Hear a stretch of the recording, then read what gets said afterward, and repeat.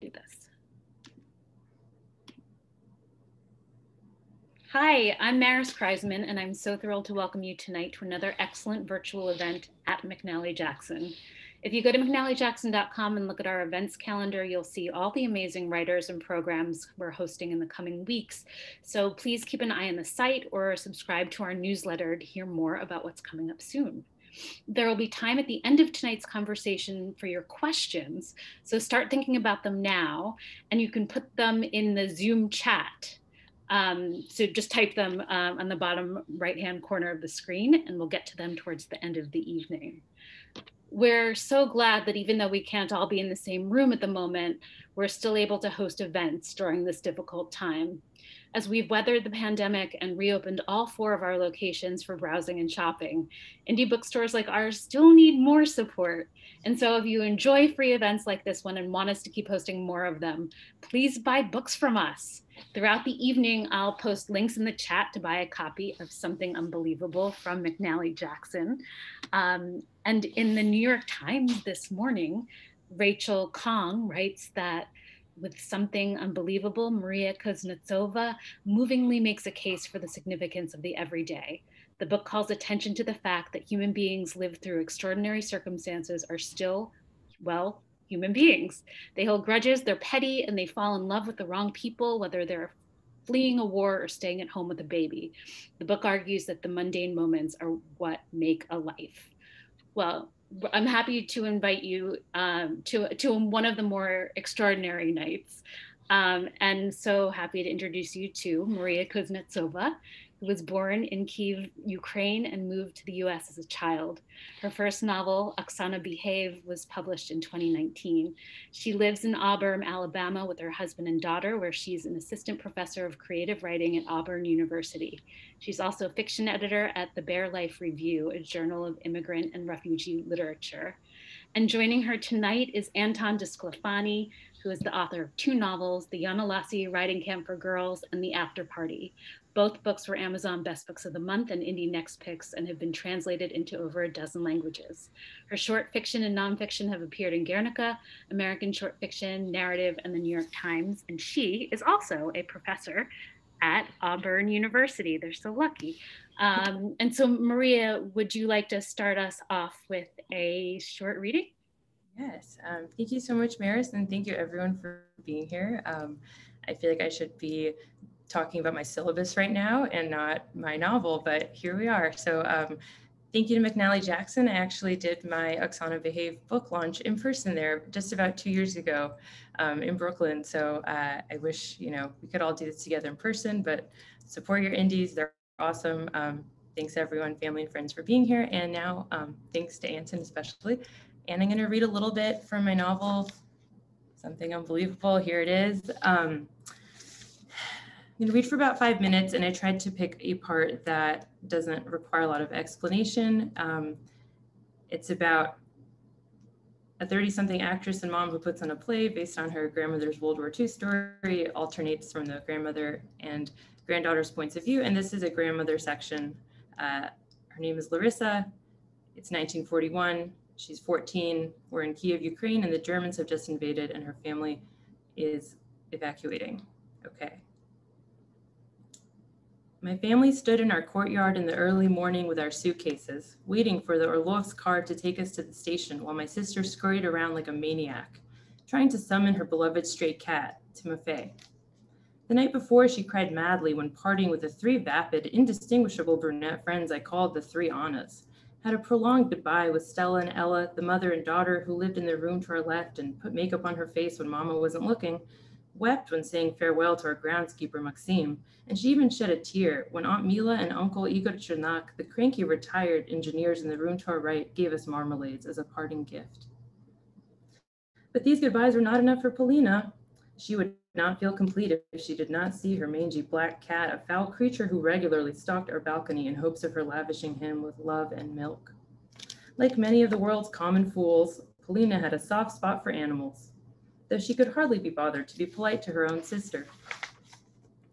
Where did you go, my sweetness? My sister cried into the void, madly waving an old bread crust as bait. Just a hint of pink and purple bled through the dark sky. The Orlov's car had arrived at last, followed by a car containing the Orlov family. I did not realize a Black Maria would be coming. This made our journey feel even more official and solemn. Still, my heart fluttered at the notion that Misha Orlov, the older son, was right there, waiting in the shadows. I heard the pitter patter of my sister's faithful cat just as the car's headlights flooded our courtyard. Polina lurched toward her creature while Mama grabbed her by the scruff of her neck like she herself was a wayward kitten. Hurry up, silly girl. If we miss this train, there will be no other, she said. But Polya gave Papa an irresistible look and he nodded and lifted a hand. My sister smiled weakly and crouched down toward the vile, stinky thing. Good boy, Polya said, letting him lap the bread crust out of her hand as she stroked his fur. You'll always be my good boy, won't you? Unbelievable, muttered Baba Tonya as she adjusted her boa. She was Polya's ally about all things except Timofey. She, like me, did not care for animals. It might have been the only thing we agreed on. Really, Feda Mama said, shaking her head at my father, but she did not chastise my sister again. You'll have to be good without me now. Can you do that? My sister told the creature. He can't talk, I snapped, but she ignored me. The engines of the Black Marias hummed loudly. Uncle Constantine stepped out of the passenger seat and lifted a hand in our direction. Even his silhouette was formidable. Papa opened his mouth to tell Polya it was time to go, but she got up on her own, turned around, and put on her best version of a brave face, like she was some big hero for leaving a stray behind. I could have put up an equal fuss over the shelf of books I was forced to leave, but did I let my lip tremble like a baby's due to our family's unknowable circumstances? Of course not, because I was grown. We gave our bags to a stone faced driver, and the women crammed in the back while Papa sat in the front. The Orlov car pulled away, and ours followed suit. I could just make out the cat's yellow eyes against the last vestiges of darkness, and my sister put her hand to the other window. I could hardly breathe in the stuffy car, but I tried to carve out a sanctified space from which to gaze out and say goodbye to my beloved city. As the car pulled away, I looked up at her balcony one last time, a place where Papa and I would chat in the evenings, where I would read on warm summer days. There was no time for a proper farewell. Our car would not drive languidly along the banks of the Dnipro, passing the Gold Lavra and the beaches of my youth, the endless parks, chestnut trees, and green hills. We lived just two kilometers from the station. In fact, our apartment was only a few blocks from the tracks that ran up and down our city, and every hour we would hear the screech of the train and feel our apartment tremble as it roared by. The noise was a comfort in a way. We drove through Zhilyansky Street past rows of tan apartment buildings nearly identical to our own. Normally, the street was not particularly crowded, but that morning it was packed and we moved slowly. Don't worry, dear, said Mama. The Institute will put us, oops, will put us, give us a decent home and keep us fed, and you girls will still go to school, she reminded us. The last part was a relief to me, but it made Polya choke a little bit. We shouldn't be gone too long, Papa added from the front seat. He did not turn around to look us in the eye to emphasize his point. We will return before you know it, Mama said, but I knew she was bluffing. The night before, I saw her sneak her winter clothes into her suitcase and understood that it would not be a quick jaunt. It'll be far safer out there than here, Mama said. It is the best way. It is a privilege to be able to leave. It is our patriotic duty, Papa added, but this did not take. But what about my friends? Polya cried. What'll happen to my friends? Your friends will forget about you in no time, I offered, which was my best effort to distract her. Easy for you to say, you don't have any, she said. I yanked her hair and watched her bottom lip tremble again, and it was true. I had no friends to my name, but I had my books, my city, and my beloved literature teacher, Marina Igorevna, who was always sneaking me books the way Polina snuck scraps of food to old Timofey. While my sister loved caring for Timofey, she also thrived on the attention she received from her friends and the endless stream of slightly older boys who walked her to school. The mama made sure that they did nothing more. Okay, I'll stop there. Thanks for listening. hey. Thank you so much. Um, thank you for having us, Maris and McNally Jackson. Um, so uh, my name is Anton Disclafani, as Maris said, and I'm going to be asking Maria some questions. Please um, let us know if you have any questions. Just type them in the chat box, and I will be maybe after we talk for 20 minutes or so. I'll look at the at the chat and um, ask some questions of Maria. So congratulations on your New York Times review, first of all. I was up very early this morning and I saw it at like 4:30 a.m. and I texted Maria. and I was like, "Oops, I'm sorry. You're probably still asleep." Um, but it was it was a very exciting thing to see so early in the morning. Good um, way to wake up. Pardon? It's a good text to receive. You know. you said you thought it was a dream, right? Yeah. and this is this is the beautiful book. Um, so to give you already did this, but to, to give readers a little background, because I'm assuming that most people haven't read it in you know the 12 hours it's been out. Um, the book opens in a modern day setting. It opens in new jersey in a one bedroom apartment. And we meet um, natasha who has just given birth. She has a, an infant that she's caring for. And then um, we meet her grandmother larissa who is living in kiev ukraine and um, they skype with each other. They have a very close relationship um, and they are skyping with each other. And so the rest of the novel is watching these two stories or reading these two stories unfold one very new story and one very old story. And the old story um it, and maria read the the beginning of that um, and it's a really beautiful story and it's about um, larissa and her family escaping the nazis. So my first question is what was it like to write two settings like that? One incredibly contemporary with skype over skype and then um, one very historical. That's a good question. Yeah you know i think in in writing it i feel like the historical part was a lot easier because um, it was kind of based on my grandmother's evacuation from the war and certain things in her story really did happen like um, you know she had to hide under a train when the germans bombed the train and they really almost starved to death and there was a cholera outbreak and all these crazy things. So I had them as kind of touch points. Um, and the contemporary part, which is like my struggle as a contemporary immigrant writer, is like trying to make people care about, you know, just an actress struggling in her 30s with a baby and trying to make that feel as important as the the more urgent war story where people died and stuff. But in rereading my book, which um, you know, I only got to hold it in my hands a few weeks ago myself, so I reread it, uh, which was fun. Um, and I thought, like, I actually enjoyed reading the more contemporary parts more in a way. Um, now, having it like all set, it felt more more natural the way it flowed in a way. So I guess I've I've conflicting feelings about writing the old and the new, and that's why the book is a mix of, of both, and hopefully shows that conflict. You're there? Oh, sorry. I think I muted myself and then could unmute myself. Sorry, I won't do that again. Um, well, it it I think that it um, one of the things that was so moving about it is that it the or so interesting and moving about it was that the um, the voice throughout felt very contemporary. I mean, there was nothing kind of um, old fashioned about Larissa's voice. Like she felt like a, a very modern heroine.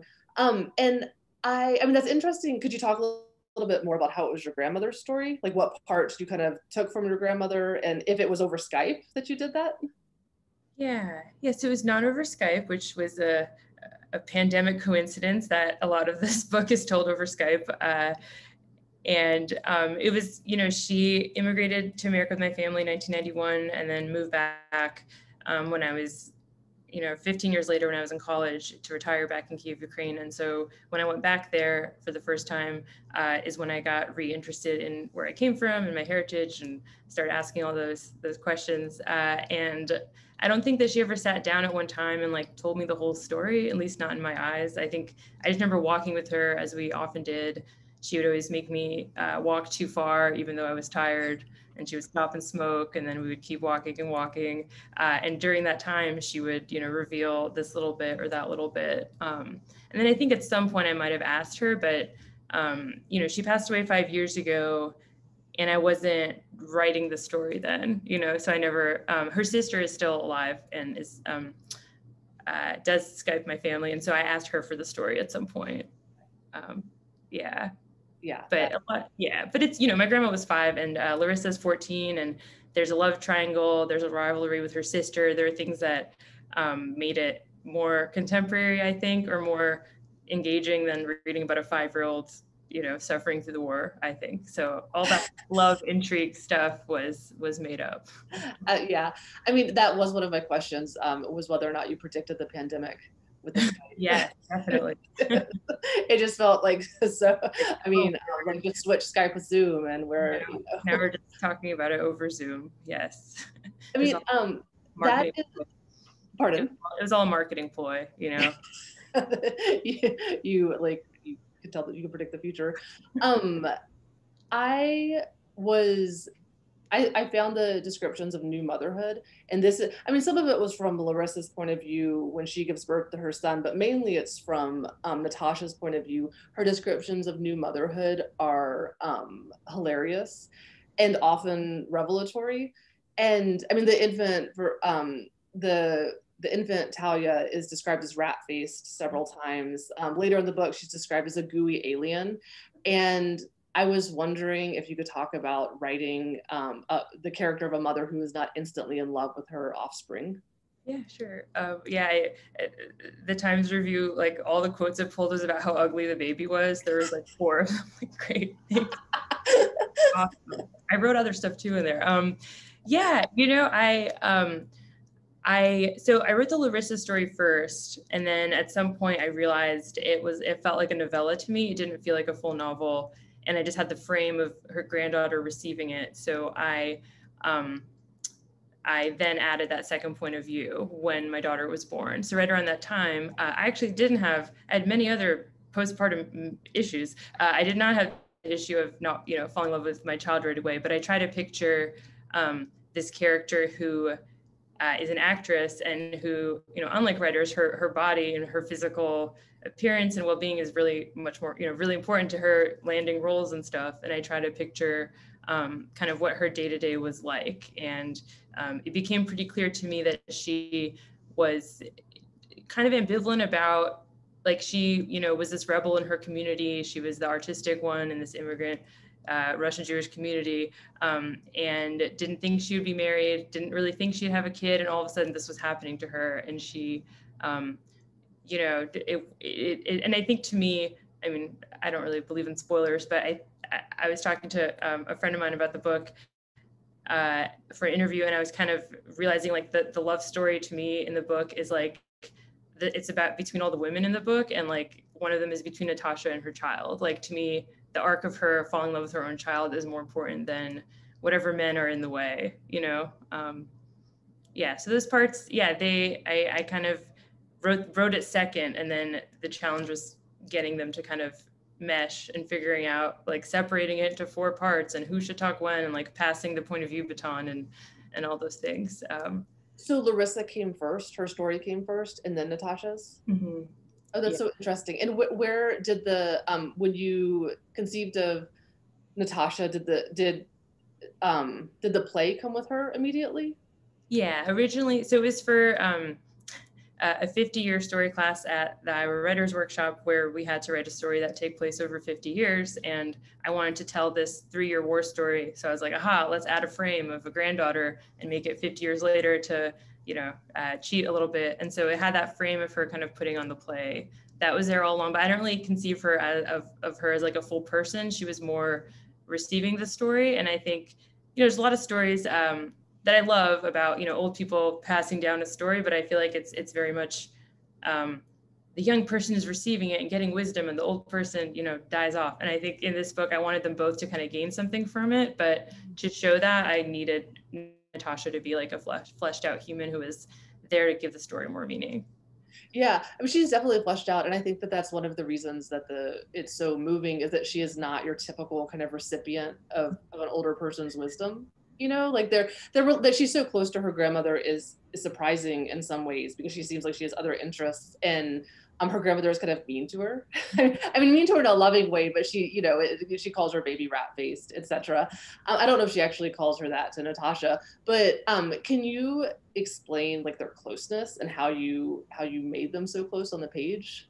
Yeah yeah, um, you know, tough love. It's the Soviet way. Um, I, you know, she uh, and and you know, in a lot of in, in Oksana Behave too. Yeah, I tend to kill off the parents because they they take up too much of a psychic space yes. in my life and in in my books. Um, and uh, I think in in this book, so Natasha, her parent, you know, her mother is this person who passed away when she was young, and she's constantly thinking of her own mom and her own mom's kind of their lack of closeness and her mom's artistic ambitions she didn't really know about until it was too late and um, and so I, I, you know, the grandma's her only tie to the world, to her like genetic lifeline. Um, her, her grandfather passed away recently, who she was also close with. So, um, yeah, so her grandma's kind of it for her, and Natasha's kind of it for her grandma. So part of it, I think, I mean, they're always close, but part of the bond is that there's there's no one left. And then the other piece of that is that uh, larissa and natasha used to spend the summers together on the sea and it was this special time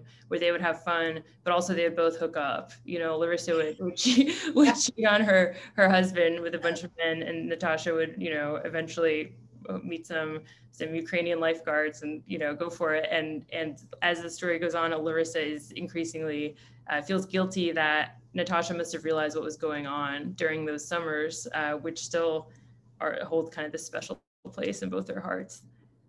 Yeah, I mean that was the that was um, you could feel how close they were on and how much they understood each other. Like there there's a gap between them. I mean, um, Larissa's parents or sorry, Natasha's parents are are both dead by the time the book opens. Um, but her grandmother understands her, even though she's from a very, very different world. Um, her grandmother understands her much better. It seems like than her parents ever did. Um, and that, like, that was. Um, I was thinking about Oksana when I was reading this book, and and and your narrators, um, and Natasha.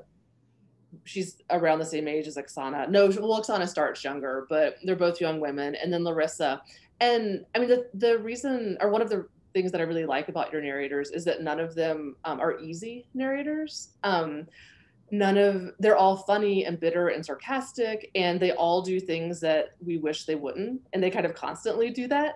Um, but they and they're also all narrators that make things happen as opposed to things happening to them. Like Larissa makes things happen during the war parts, even though there's this great big war happening to her and happening to her family. And so I was wondering about about that, how you um, how you write narrators that have such force.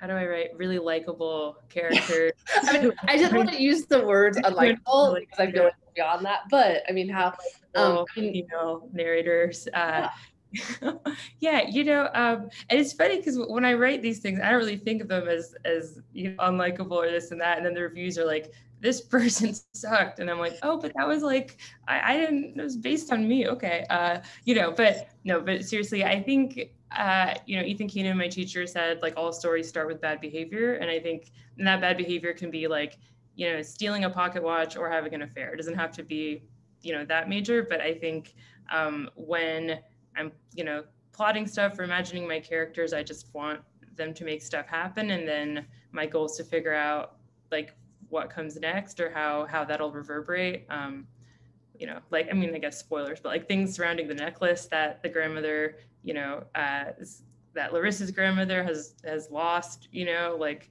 um, I think I think part of the fun is just throwing people into the world and like seeing what what mischief they could make and then what sense the people around them could make of it. Um, yeah, and then, I mean, for what it's worth, they never seem unlikable to me. I mean, they seem very human, and they like give in to their impulses sometimes, but they don't. I mean, they definitely don't seem unlikable. And I, mean, I think that sometimes historical fiction can get a bad rap because it feels like um, things are happening to characters, especially to women, and that is like that that does not happen in your book. Like definitely there are circumstances that happen to larissa but then larissa is her own singular character within these circumstances which i think is a um, which is um, which made the i mean they were they definitely felt historical. I mean they were set in a in a different time but it also um, it it it felt like history was serving the character and not the other way around if that makes sense. Yeah, that's that's not really a question, yeah. but yeah.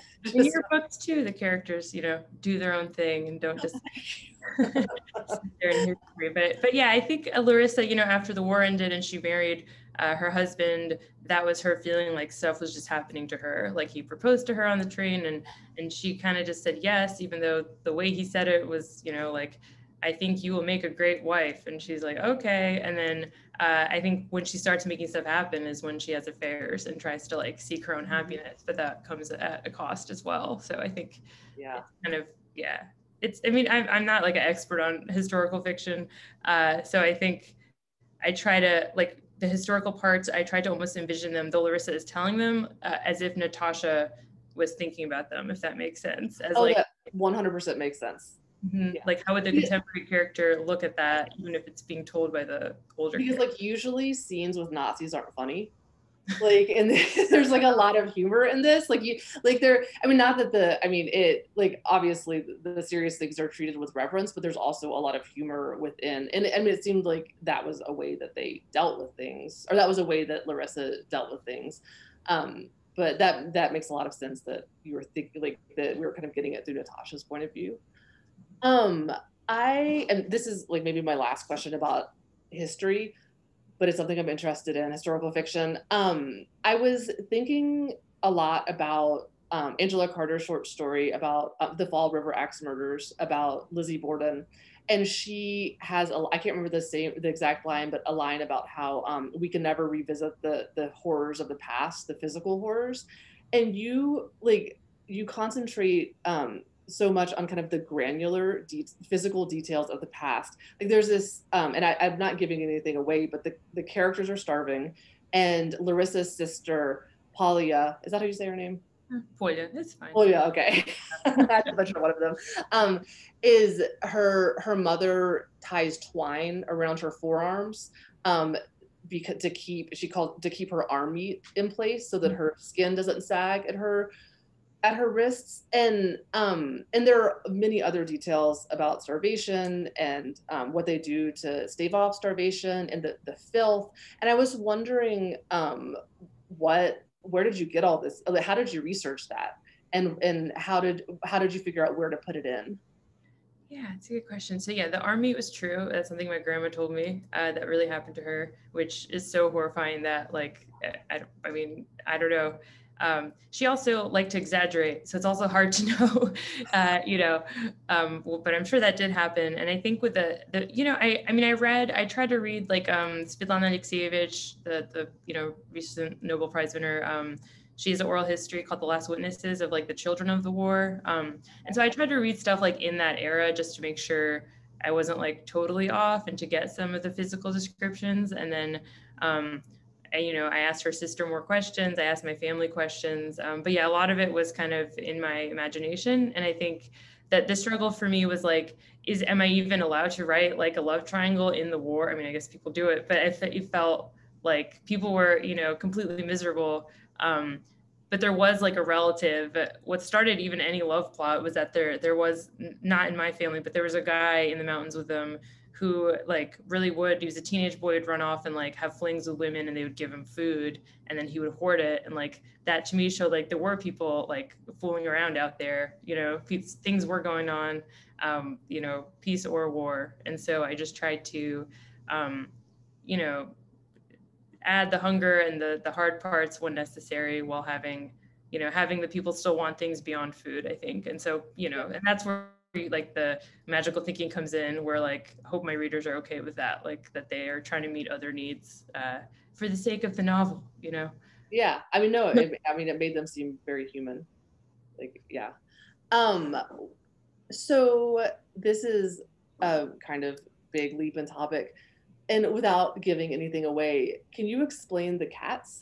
can you talk about the cats in the book? and, the, and, you have there are two cats. There is a cat in the modern day setting, and then there who has a very funny, um, vulgar habit, and then there's a cat in the in the um, in the war setting.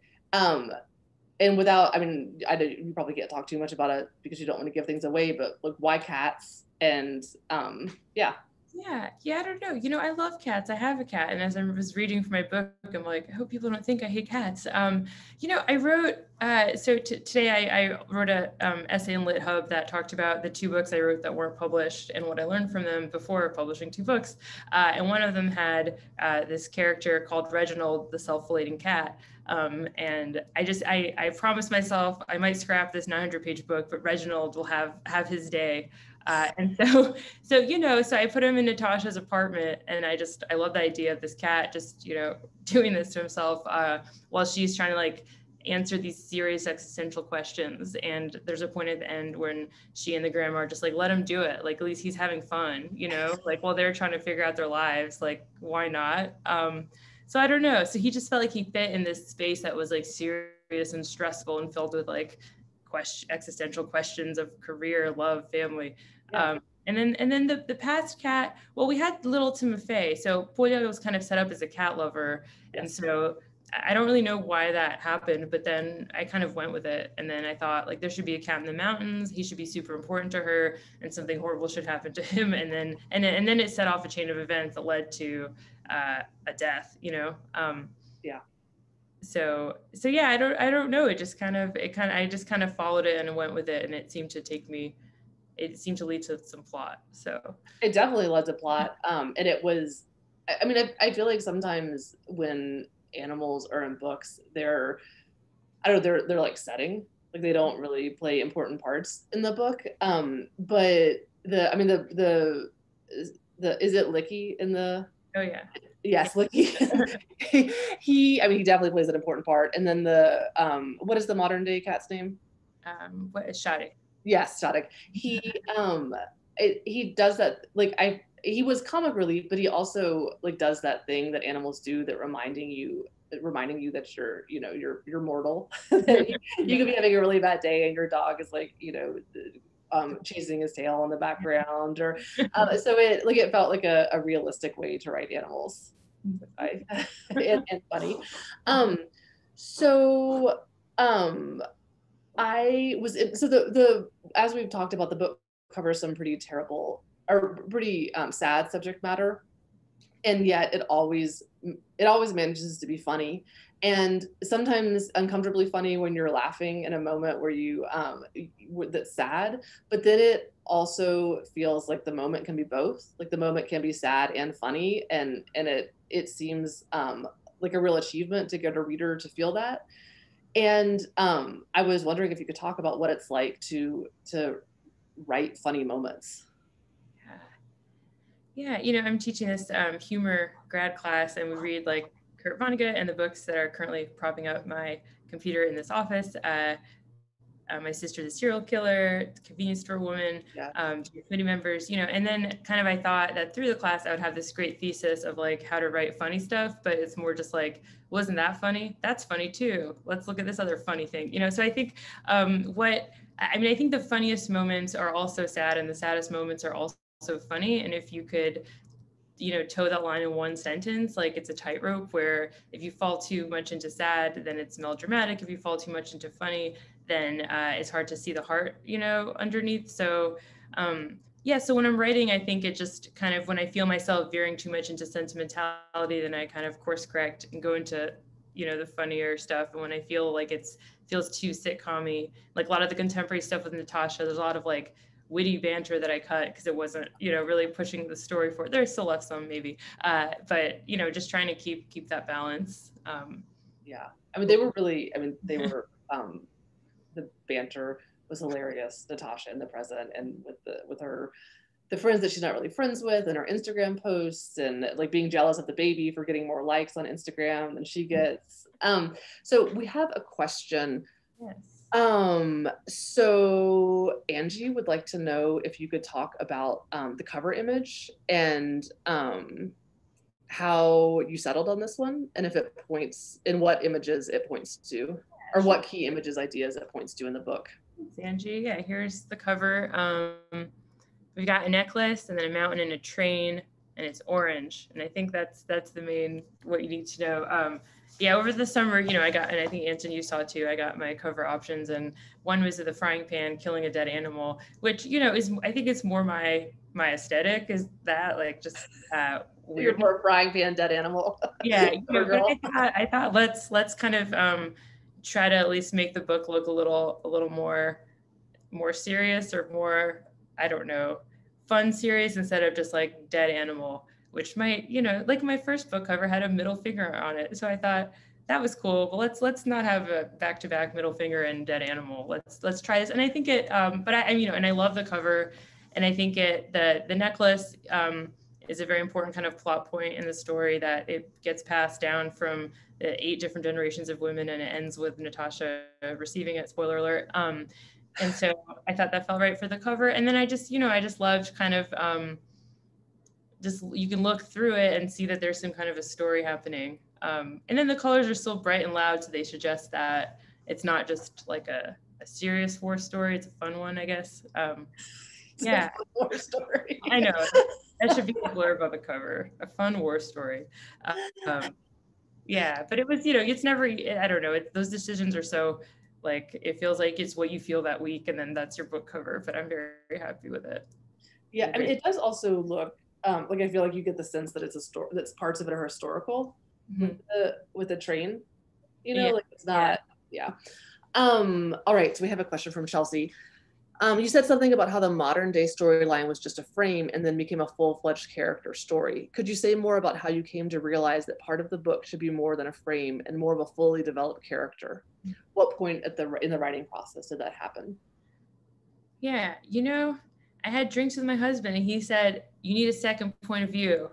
God damn it. Uh, you know, he's, he's not even here. He's watching our kid. But he, uh, he, you know, so he kind of said, um, I know you're stuck on this war part and it doesn't feel like it's a full book and like uh, you should have some kind of contemporary character uh, figuring this thing out. It'll make the book feel more dynamic. Um, so I was like, yeah, I mean, I was already thinking about it, so I shouldn't say he came up with it. I asked him if I should do it or something like that. And then he said, like, absolutely yes. And then, um, so it was just, you know, like, I don't know, maybe a year, it was two summers ago or something. And then, and then, um, but then I started writing it and then it didn't feel right.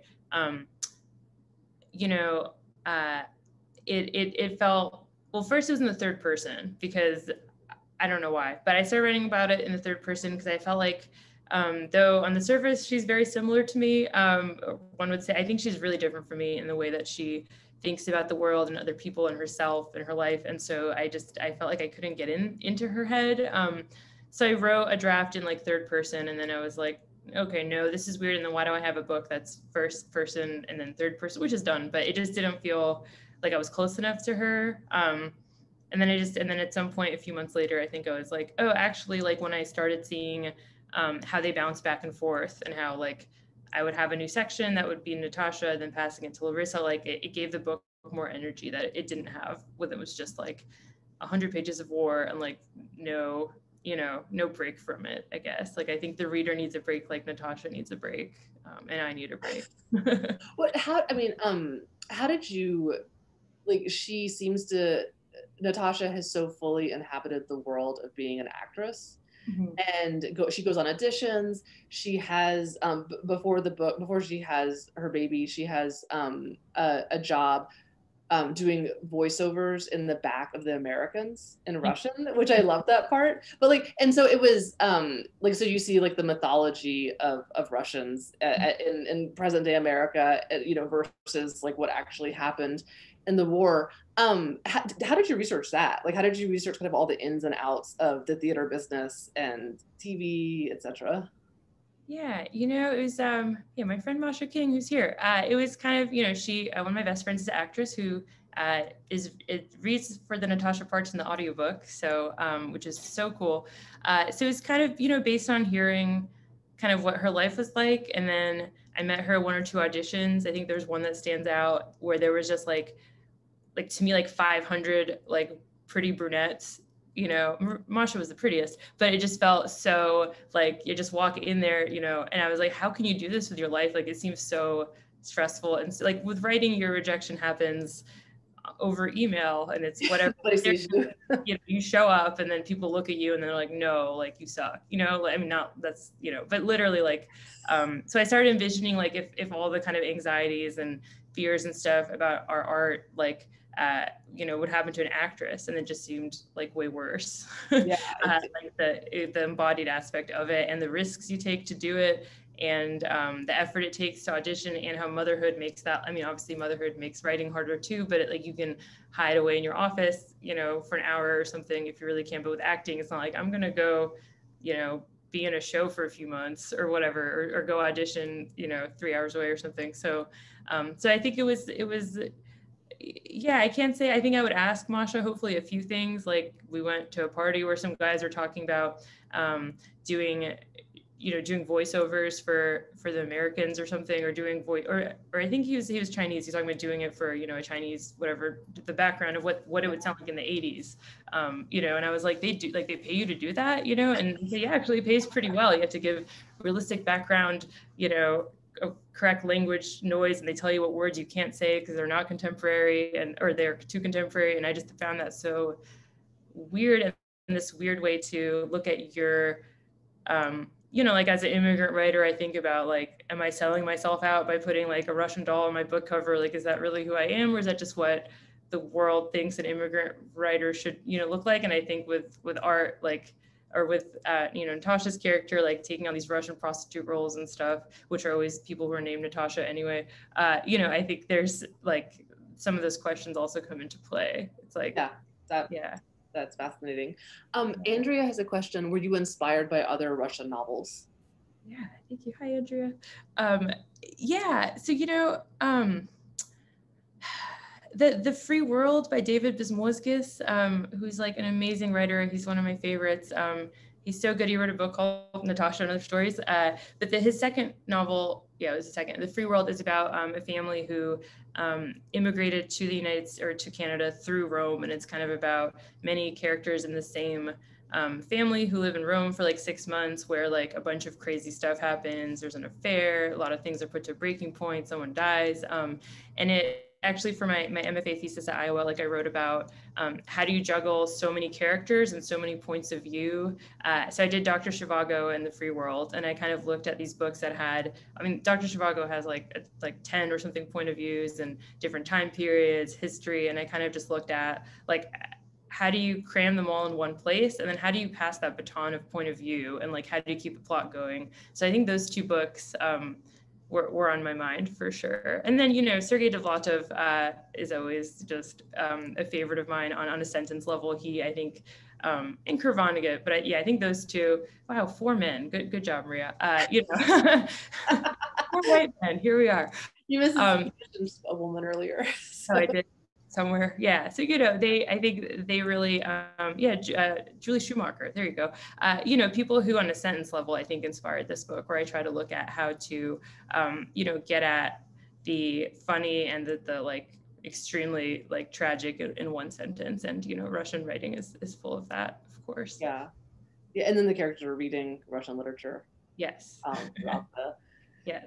throughout the book. Um, how was i mean it, i think the title is perfect. Did you know that the title this would always be the title?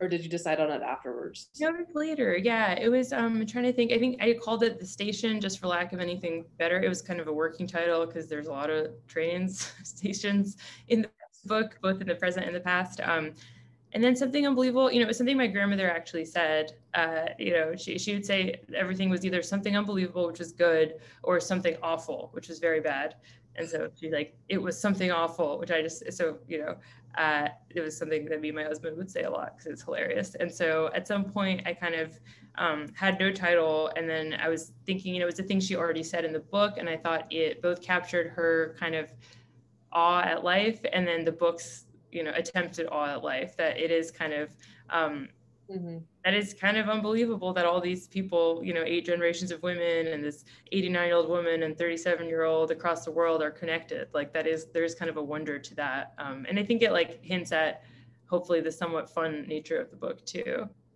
Yeah, absolutely. Yeah. Absolutely. Um, this is, oh, this is also a little bit of a departure. Uh, oh wait, Amaris, are we done?